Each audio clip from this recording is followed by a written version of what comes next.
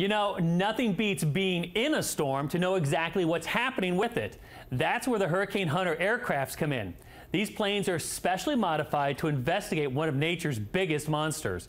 You don't often get to see a Hurricane Hunter plane up close, but a couple were on display recently at the Marathon Airport. They all have a little bit different personality. You know, some will just, you know, knock your back teeth uh, out, and some are uh, more like a, a roller coaster or, or a ride like the Tower of Terror or something. That's how one Hurricane Hunter pilot describes flying through storms. I think probably one of the biggest things as a pilot, you know, as we're flying in this, these huge storms, um, is the surreal nature of it. Uh, you know, of course, it, it can be pretty rough, uh, you know, in the storm as we're penetrating the eye, going through the different quadrants. But the pilots and crew are always aware that they're not the only ones feeling a storm's fury. Just to think what's what's going down at the surface and the devastation that can occur, um, and of course, we're all coastal residents uh, for the most part.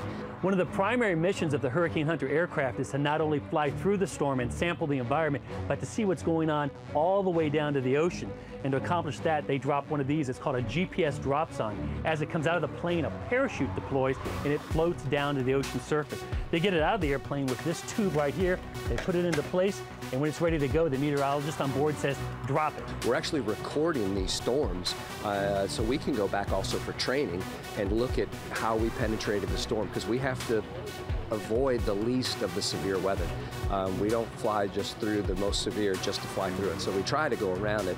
Um, but that data, that real-time data that the National Hurricane Center is getting, they just can't get from the satellite. Uh, we're the only ones that can get it in the eye. The first Hurricane Hunters began flying way back in the 1940s. There are now 10 such aircraft that fly directly into the core of tropical cyclones.